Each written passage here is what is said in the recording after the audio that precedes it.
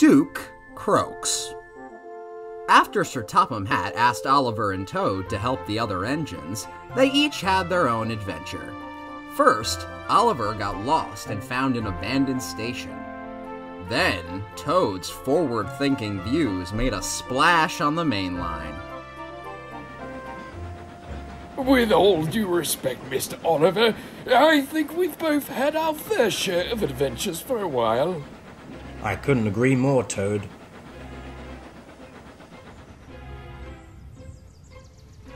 They had just arrived at the workstation when they heard a strange wheezing sound.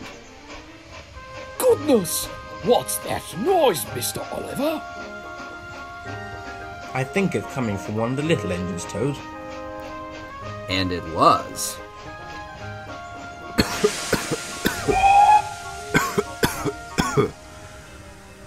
Excuse me, do you mind? Oh, sorry. I uh, just couldn't help but hear you coughing.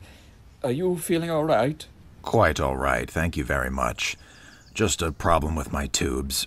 uh, they'll sort themselves out. Oh, that's a relief. Uh, my name is Toad, by the way. I'm Mr. Oliver's brake van. Hello there. A pleasure, Toad and Oliver. I must say, it's nice to see the big railway look out for the little one. After that, the pair continued to hit it off well. Toad would check in to see how old Duke was getting on, but Duke's cough seemed to get worse and worse. Then, one day, Duke never arrived. Where's Mr. Duke? I don't know, Toad. I suppose he's working somewhere else today.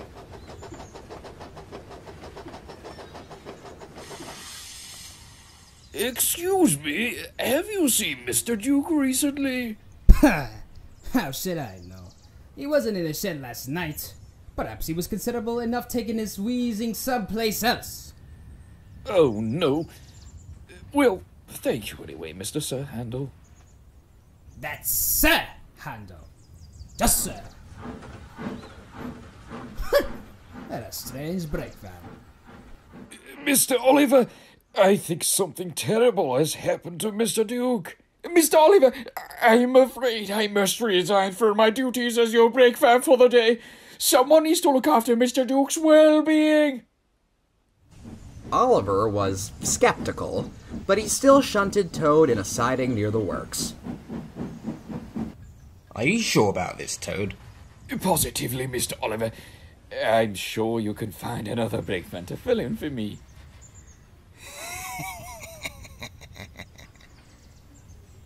Um, uh, alright, if you uh, say so. Toad was on high alert, but all was quiet in the yard for some time. That is, until.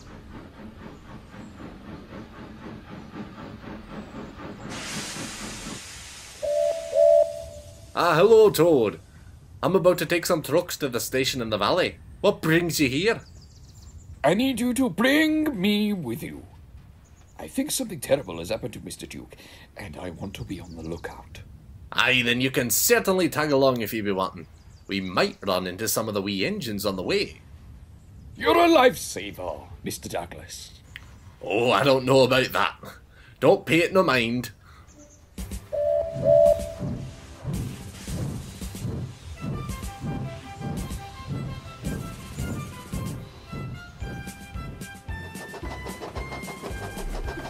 And so the search began. Douglas and Toad searched high and low for Duke. But there were no little engines to be found, except for a diesel. Excuse me, Mr. Diesel. I'm sorry, but uh, I don't really see myself as a Mister. I, I preferred being called something like Little Diesel, if you don't mind. or, or Rusty. Uh, Rusty works. Oh, my apologies, Rusty the Little Diesel. By any chance, have you seen Mr. Duke? Hmm. Um, I'm afraid I haven't seen him all day. It wouldn't hurt to check the Valley Station, though. Oh, thank you. We will.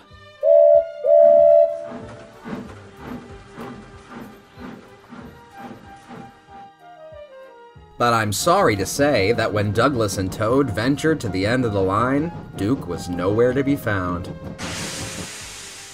Oh no, he's not here either. Dinna fast yourself, Toad. Perhaps Duke is just having a wee bit of rest, or working in the quarry. Toad wasn't convinced. On their return journey, something caught Douglas's eye. Toad, I think I see another wee engine ahead. Hurrah! Well done, Mr. Douglas. Is it Mr. Duke? It could be. It certainly looks like the wee fellow, but he's different shade of brown. Stop! We have to stop! Oh, sakes, Toad! Wait! You're not Mr. Duke. Yes, I'm afraid not. I get that a lot, honestly. I suppose if I were a tank engine, it would be easier to tell us apart. Good day to you both.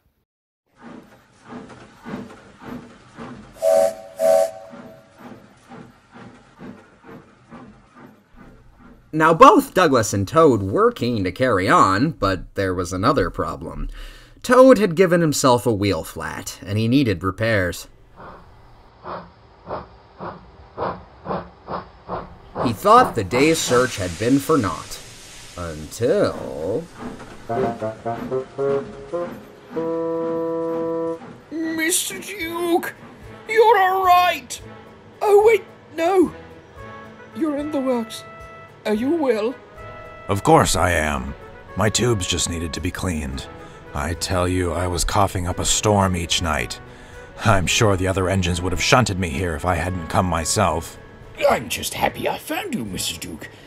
I withdrew from my normal duties to make sure you were safe, uh, but I think doing so only caused more problems.